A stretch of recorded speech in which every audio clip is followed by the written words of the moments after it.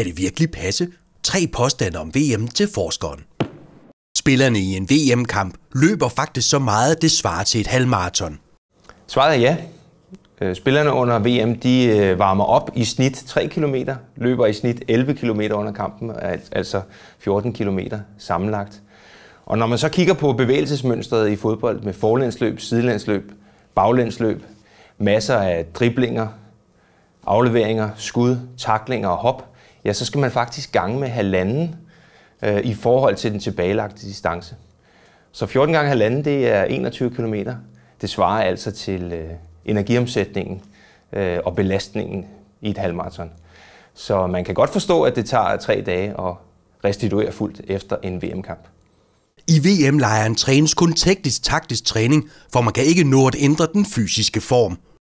Det er i hvert fald ikke rigtigt. Landsholdsspillerne i øh, VM-lejren, særligt de, der får meget få kampminutter, de kan ændre deres fysiske form rigtig meget, både positivt øh, og negativt. Ikke mindst evnen til at lave øh, gentaget intenst arbejde, som er så vigtigt i moderne topfodbold.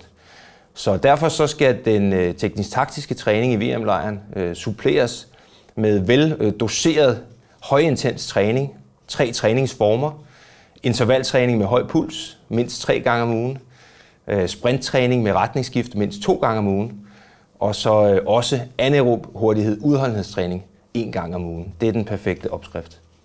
VM-kampenes intensitet er højst i starten af første og anden halvleg, hvor spillerne er friske. Intensiteten er meget høj i det første kvarter af første halvleg, hvor 75 procent af alle spillerne har deres mest intense periode. Men faktisk er intensiteten ikke særlig høj i starten af anden halvleg. Og det skyldes, at øh, spillerne på de fleste hold de sidder stille i 15 minutter i halvlegspausen.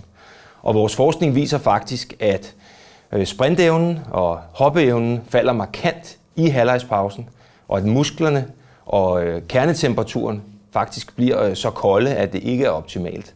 Og derfor anbefaler vi, og har også afprøvet for herre- og kvindelandsholdet, at man genopvarmer 5-7 minutter med lav intensitet. Så er man klar til starten af anden halvleg.